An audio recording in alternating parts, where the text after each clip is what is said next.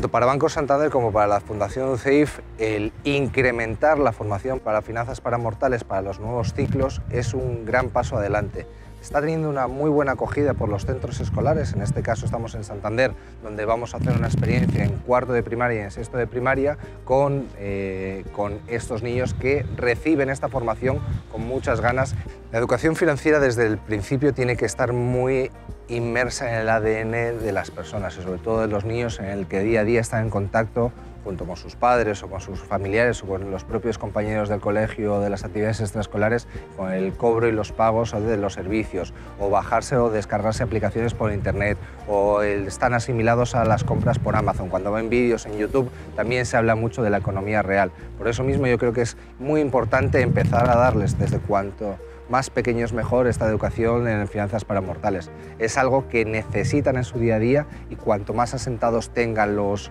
los conceptos, mejor. Lo primero que vamos a hacer es una introducción a los conceptos básicos en, la economía qué es el dinero desde un punto de vista consciente, cómo poder manejarle y fuentes de obtención del mismo.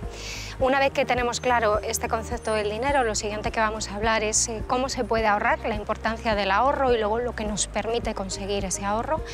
Asimismo, hablaremos del ahorro a la inversa, que es un concepto que utilizamos dentro de, la banca y que todos a lo largo de nuestra vida vamos a poder utilizar y es importante concienciar a, los niños desde pequeños eh, cómo la deuda nos permite y ese apalancamiento nos permite desarrollar proyectos que requieren más eh, inversión y eh, el fundamental que tienen los bancos en ello. Conceptos básicos que todos vamos a ir necesitando a medida que cumplamos los años.